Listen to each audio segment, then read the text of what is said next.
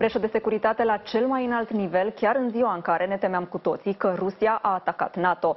Doi farsori ruși au reușit să vorbească la telefon cu președintele Poloniei în acele momente cruciale.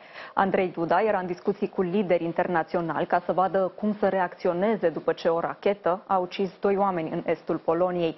Farsorii ruși s-au dat drept Emmanuel Macron și au reușit să-l facă pe Andrei Duda să spună lucruri pe care nu le-a spus public nici atunci, nici până acum. Iată o parte din înregistrarea care are în total șapte minute. Uh, and and and I talked this uh, this evening um, with um, with uh, Jens Stoltenberg uh, and and and uh, and um, I talked with President Joe Biden, um, President Biden, he, Manuel. I am, believe me, I am extra careful. I don't blame uh, Russians. Emmanuel, you know, this is war. And I think that both sides will will will accuse another side of this another side of this war. Yes, Emmanuel, do you think that I I want to have war with Russia? No, believe me, I don't want to have. I I don't want to have war with Russia, and I'm believe me, I'm extra careful, extra careful. Cum a fost posibilă o asemenea breșă de securitate în condițiile în care astfel de convorbiri se fac pe linii securizate. Discutăm cu Harry uh, Bucur Marcu, expert în securitate națională. Bună ziua, vă mulțumesc că ați acceptat invitația noastră. Bună ziua, mulțumesc pentru invitație. Așadar, pentru început v-aș ruga să ne explicați puțin protocolul într-o astfel de situație. E vorba de un uh, președinte, un șef de stat al unui stat aliat în uh, Organizația Tratatului de Nord, respectiv NATO. Ceea ce presupune că uh, în asemenea condiții protocolul este cel pe care l-au acceptat în momentul în care au devenit membri NATO, în 1999 de comunicații securizate, nu numai în sensul în care se intervine electronic uh, în uh, modularea semnalului, ci sunt inclusiv linii securizate, sunt inclusiv uh, încăperi securizate în care se poate face transferul de, de, de la un aparat la altul și așa mai departe.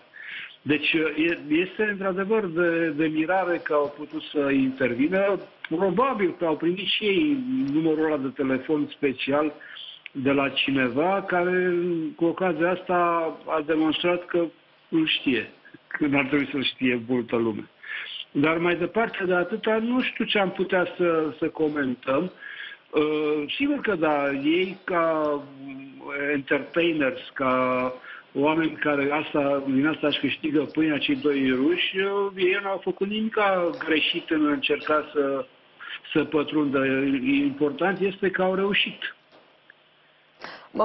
Administrația prezidențială din Polonia susține că președintele Poloniei și-a dat seama că are ă, de-a face cu o farsă, motiv pentru care a și încheiat ă, conversația. Vedem totuși că a fost o discuție telefonică de șapte minute. Și-a dat seama că nu vorbește cu Emmanuel Macron? Da, bine, e greu de, e greu de, de spus. Vă dați seama, era într-o situație și o presiune psihică deosebită președintele polonez. Era seara, toată ziua asta, a făcut, până atunci asta a făcut, se vorbise cu diferiți șefi de state și de guverne. Din NATO își precizase poziția, toată lumea se aștepta de la el să să invoce articolele din, din tratatul nord-atlantic, articolul 4, articolul 5 chiar. Deci era o situație foarte dificilă și nu stătea el să, să verifice dacă cei care se ocupă de comunicațiile speciale își fac treaba sau nu. Dar probabil că după ce și-a expus el că șapte minute, sunt convins că a vorbit el destul de mult încercând să, să această pledoarie pe care ați dat-o noastră, scurt la în emisiune acum. Deci el a făcut o pledoarie pe care probabil că a repetat-o pentru fiecare dintre interlocutorii săi, că nu este cazul să, să escaladăm să, tensiunile respective, fiind vorba de un război pe care nu dorește nimeni să, să devină un război internațional, fiind vorba de așa ceva, el a, a pornit de la premiza că întâi se verifică și pe urmă arată cu degetul cine ar fi fost de vină pentru uh, acel incident care s-a dovedit ulterior că este un, chiar un accident. Ce spune acest incident despre securitatea la cel mai înalt nivel a Poloniei?